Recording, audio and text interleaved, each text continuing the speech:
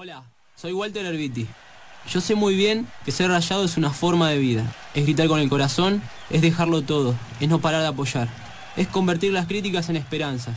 Es pintarse de azul y blanco.